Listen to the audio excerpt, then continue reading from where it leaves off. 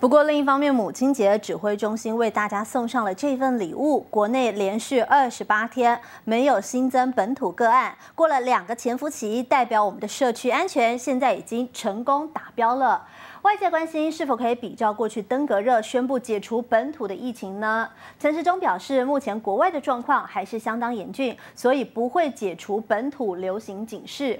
而面对即将到来的五二零，那么陈时中也说，这几天看状况，如果更稳定一些，那么就会建议总统就职典礼人数可以再放宽。母亲节哈，那我们大概借这个二十八个本土零哈。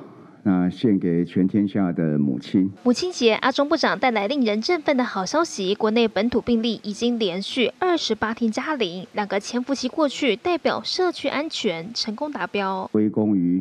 啊，整个台湾哈，我们整体居住在台湾这里的人，二十八日的本土零确诊哈，但是我们仍然不可以掉以轻心。对比境外疫情严峻，全球确诊数已经突破四百一十万人，而台湾则是维持在四百四十例，其中三百六十六名感染者都已经康复，顺利出院解隔离，康复率高达百分之八十三，防疫成果世界有目共睹。不少人也关心是否会比照过去登革热宣布解除本土。疫情。像登革热的时候，它大概是不是一个全世界哈都都在这样的一个发生的情况，所以在一个境外的情况仍然严峻的时候，那我们还是要。